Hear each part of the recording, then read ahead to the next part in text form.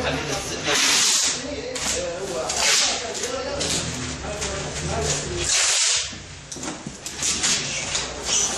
you.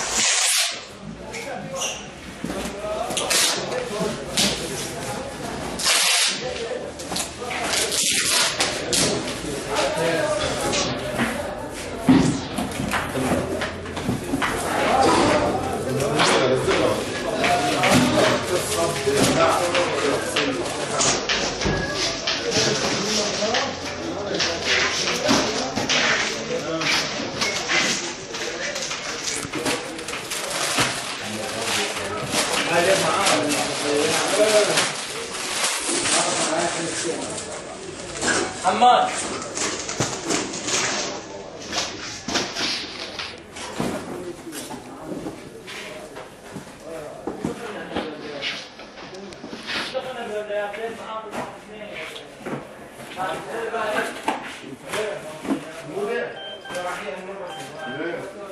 ما دخلنا بيوم شو دخلنا نحن؟